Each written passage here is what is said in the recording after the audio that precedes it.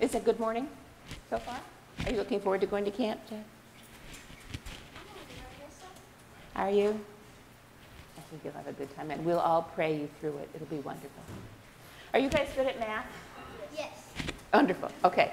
If you had 17 apples and you had four friends who wanted an apple, how many would you have left if you gave them each one?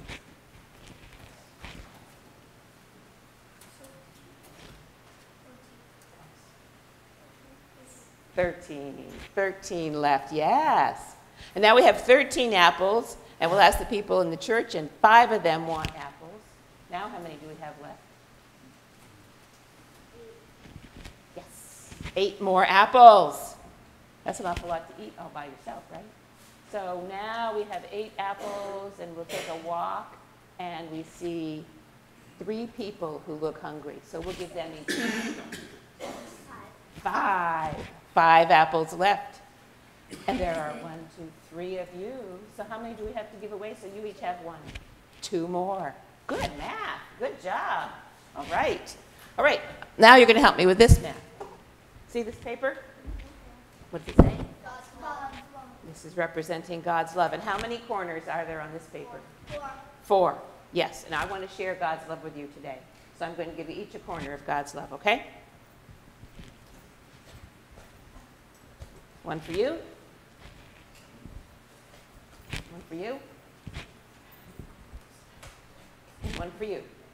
So I had four corners, and I gave away three corners. How many are left? One.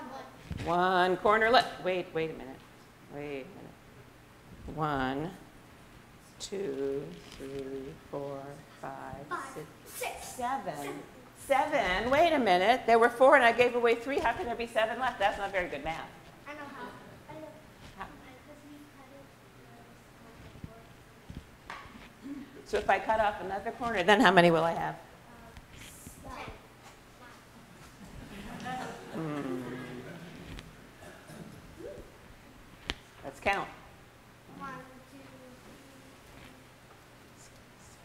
Two, Eight. Eight more corners. God's love just keeps multiplying, doesn't it? All right, now try this. Cut off another corner. You ready? You're way ahead of me. That's right.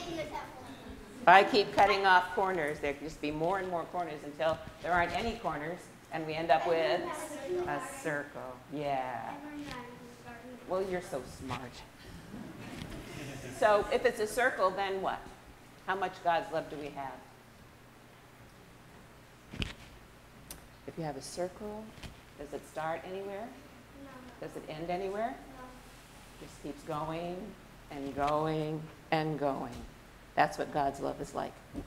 I trust that God's love will just surround you and keep going and going while you're at camp and while you're at home, when you get ready to go back to school later, later, later. Let's have a prayer.